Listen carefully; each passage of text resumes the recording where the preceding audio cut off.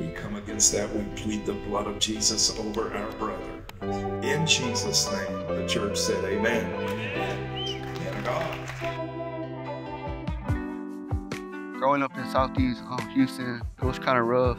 You know, pretty much just hanging around gang members, um, drugs, guns, anything that was bad. You know, my biggest struggle uh, before I came to Strong Tower was Xanax bars.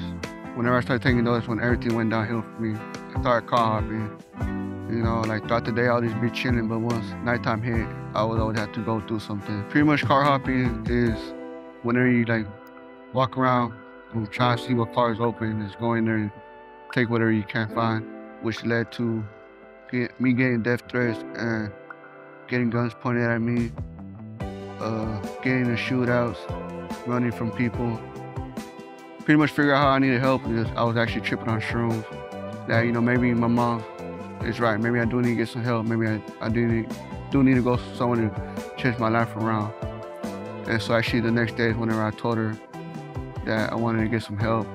So she got the phone number for Strong Tower. So that's whenever I made a phone interview. And I was actually talking to Renee. And she told me it was a whole year program. Whenever she told me the whole year, I kind of made a face.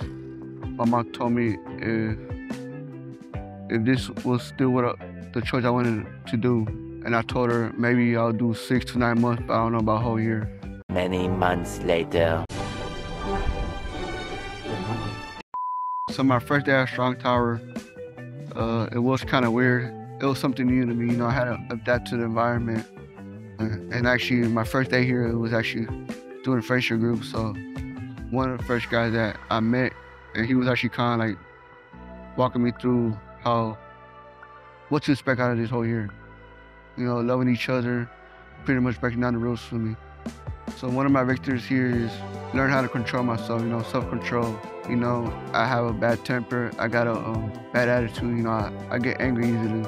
I learned how to uh, how to control that and not let um, things get to me. I learned how to be obedient. I learned how to submit to authority. That was one of my biggest struggles there is submitting to authority. My favorite thing about Strong Tower is um, working in the wood shop. It's pretty much like a prayer room for me. You know, I get to block things out and just talk to the Lord and meditate while I'm working.